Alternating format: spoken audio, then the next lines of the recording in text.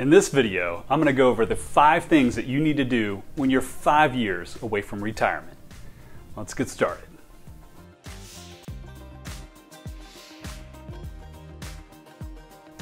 Hey there, this is Patrick King with Prana Wealth. On this channel, we cover the strategies, tactics, and mindset shifts to help you build wealth faster so you can make work optional sooner.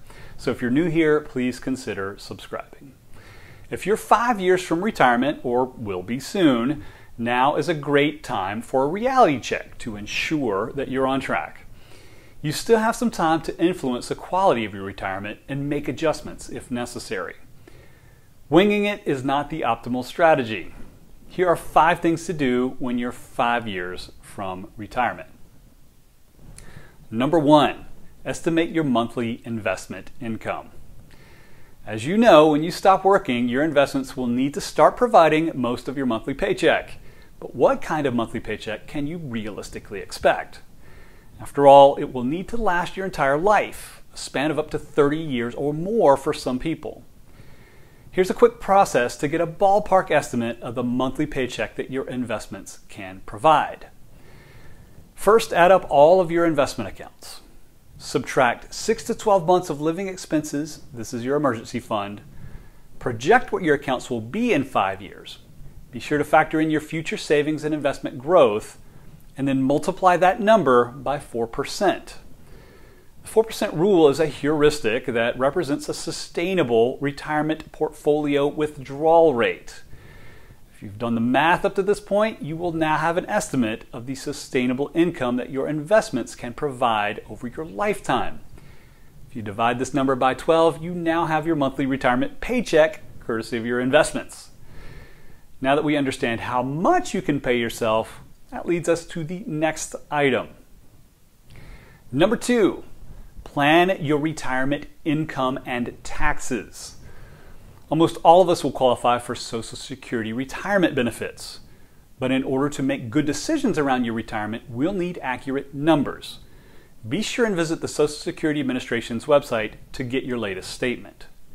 If you're so lucky to have a pension, now is also a great time to review those benefits and understand the details.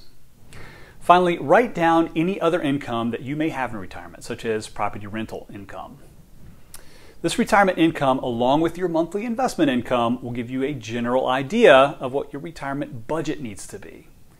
Once you have a good idea of your income, you can work with a CPA to put together a retirement tax plan.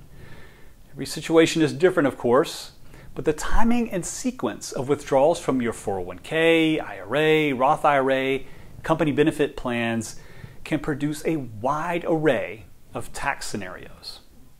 Creating a retirement tax plan to time these withdrawals can save you thousands over your retirement, as well as create strategic tax opportunities along the way, such as the occasional Roth IRA conversion at a lower tax rate. Number three, price out healthcare.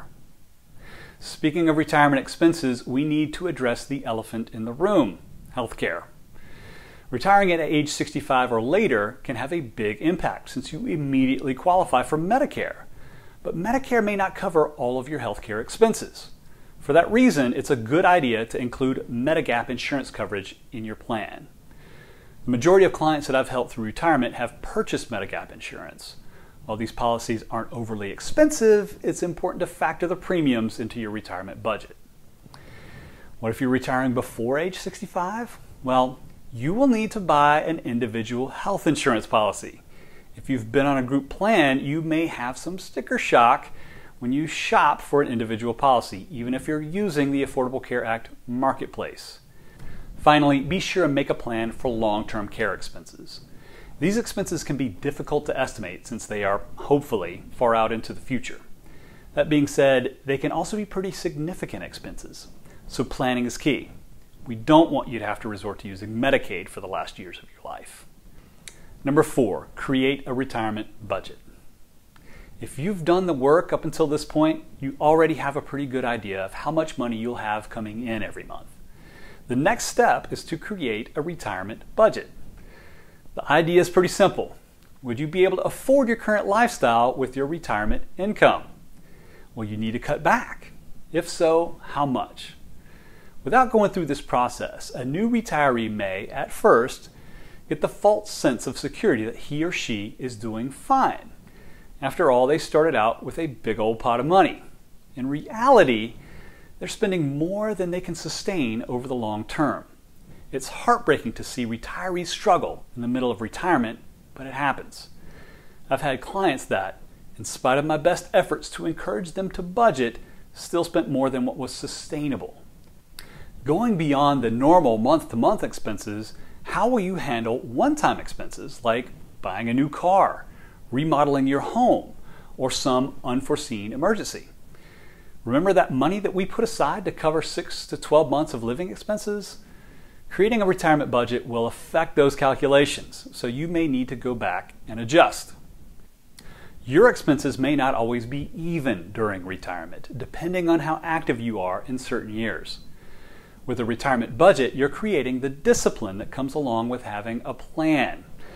While you may have to course correct at some point, even a small amount of planning today can stave off disaster later. Number five, make a plan for your debt. As a fiduciary financial advisor, I tend to be pretty conservative when it comes to debt. I encourage all of my clients to work towards being debt free or close to it when they retire.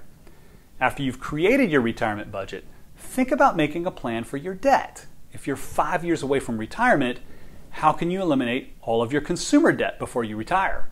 This includes credit cards, auto loans, or any other type of debt associated with personal use assets. What about your mortgage? It's okay to have a mortgage in retirement.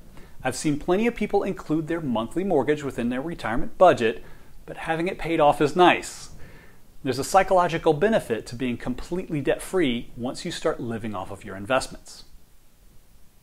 Once you've done all this, it's now time to lather, rinse, and repeat. One thing that you may have recognized is that after making a decision about how to handle one of these items, you may need to go back through this process again and adjust.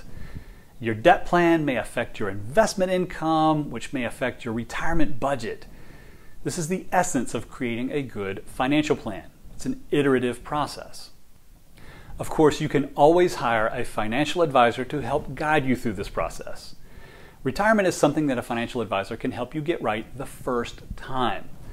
How much is your peace of mind worth? Prana Wealth is a fee only financial advisor based in Atlanta that works virtually with clients across the U.S. If you're not working with a financial advisor, or if you're unhappy with your current one, please visit us at pranawealth.com to set up a quick complimentary introduction call to see if we are potentially a good fit. We do have some availability to bring on new clients this year. Five years can give you time to make adjustments if needed. Unfortunately, too many people wait until the last minute to start their retirement planning. If you can address these five things when you're five years away from retirement, you'll create a much less stressful experience. If you found this video to be helpful, please help me grow my channel by liking this video and subscribing. Thanks so much for watching. I'll see you soon.